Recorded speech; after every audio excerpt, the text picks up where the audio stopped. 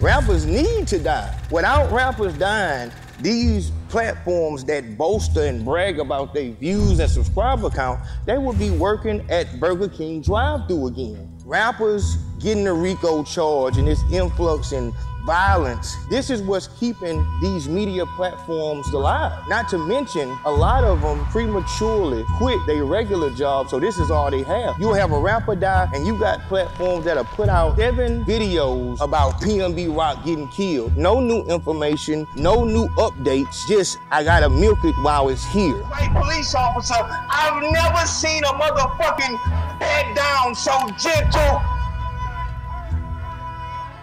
there isn't a gray area. If you don't need for rappers and celebrities to befall these horrible fates in order for you to live, then stand with us. No negative news November for the whole month. I don't care if a rapper dies, celebrity get arrested, none of that. At this point, you can't play dumb. You know that you posting something about an artist can actually lead to that artist forget them getting a charge. It can lead to them actually getting murdered. So you can either stand on it and actually put the action behind what you saying you want, which is stop the violence, this has to stop. You either need rappers to die to survive or you actually want something to happen because you can actually see yourself or somebody that you love in these artists.